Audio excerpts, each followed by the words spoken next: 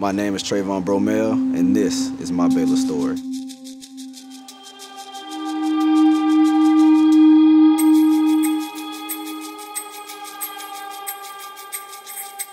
It all started in St. Petersburg, Florida. Growing up, not really a big city, kind of on the bad side a little bit. Growing up, I really didn't live in a good neighborhood.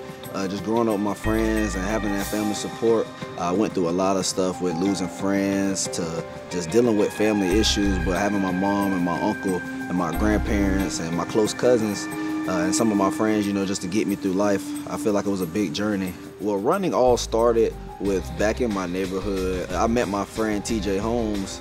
It was crazy because he came across the gate and he was like, hey, my dad wants us to race against each other. And I was like, all right, cool. So I come across the gate and we just started running. And I ended up being faster than him and my friend Liddell Golden. And his dad was like, you, got some good talent. So that's when he uh, introduced me to my AAU track coach, uh, Garlene Boyd and it was just a, a, straight shot from there you know just building on the character of me and building me as a runner and just seeing how far this journey can go. My mom shira sanders she she's a great mother hard worker uh, work ethic is on point with everything she does uh, growing up I really didn't. I didn't have my father. He lived in another state. Uh, my mom really raised me as the man and the woman of the household. My brother David Green, I want to say he was a main factor in my life also. He's always stood by my side. Anything I needed, he was there. When I didn't have money for clothes, he provided it for me too also. My other brother who lived in Connecticut uh, with my father, Marquise Bromell, and he recently just got out of jail. So right now we're just starting to communicate. I know he's taking a, a tough loss with the loss of my father. So me and him just dealing with that. Uh, I feel like one day I want to be able to get up there to, with him and help him out. You know, just help him get back on his feet with life. I feel growing up, I dealt with a lot of injuries. Starting off with both of my knees, and the last injury was uh, my hip.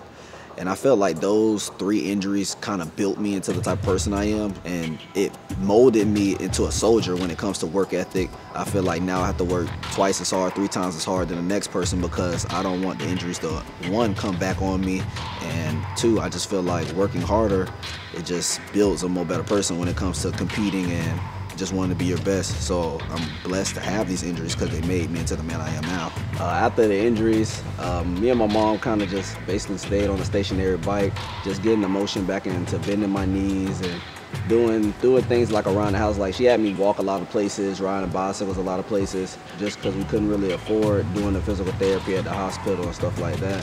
So we never did physical therapy. It was all homemade things that we did to get me back on my feet. And going through all the whole recruiting process, a lot of schools kind of backed up off me because uh, I didn't take the ACT on time. I was late. And I was just looking on Google. I was just typing in top 25 schools that's good in track and field.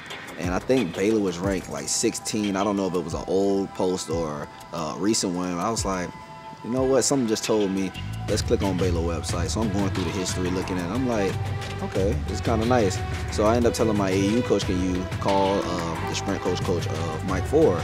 And she was like, yeah. So we got in contact. We started talking, and it just when I met him, it was a connection that I knew. I was like, he's the coach for me. I knew I could tell that he was a loyal coach. It was more than just track and field talent with him. It was more of I'm looking out for you. You know, I'm here for you whenever you need me, and that's the type of coach I feel like I needed.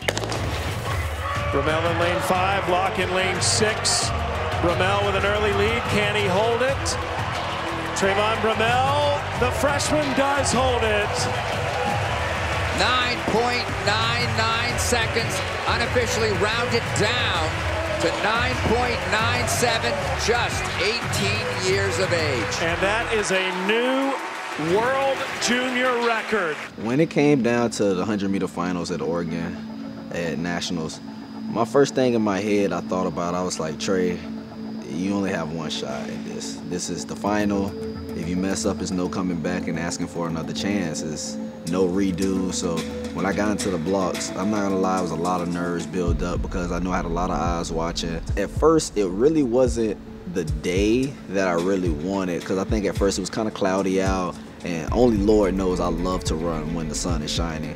So right before the race, I started just praying. I was like, God, just open the clouds, bring the sun out. And soon as the clouds spread open, I just felt comfortable and I felt relaxed. So when I came about the blocks and I knew I was in first, I just knew it was meant to be because God answered a prayer knowing that I love to run in the sunshine. When I crossed the line at Nationals and seeing the time, nine seconds. It was a crazy experience because Lord knows I've been wanting to break 10 seconds my whole life. Even since high school when I ran the wind-aided at 9.9, a lot of people was like, oh, I don't know if he'd be able to do it for real or legally, anything like that. So when I crossed the line, I looked up and I seen the time. At first it was 9.99 and I was still happy I was blessed. I was like, man, I actually broke 10 seconds regardless of what the time was. And then I seen them drop it to 9.97 and I was like, man, it's a lot more that I can do. I just have to get stronger, you know, get more endurance.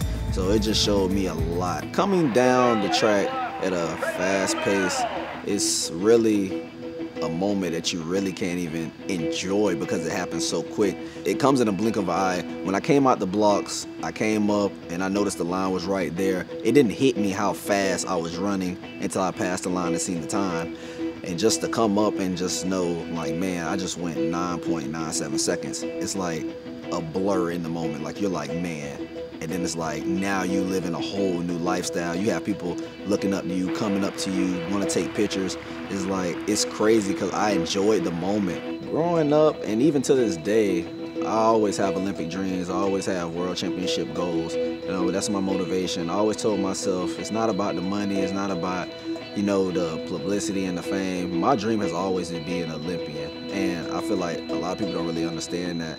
I just feel like I always wanted to be on that platform to be able to be one of the greats. A lot of people want to know what it's like for me to actually be a Baylor Bear, and the feeling is triumphant. It's like feeling victorious. It's like being Muhammad Ali winning a boxing match or, you know, winning a Super Bowl or being an Olympian. It's a feeling that you can't replace. My name is Trayvon Bromell, and this is my Baylor story.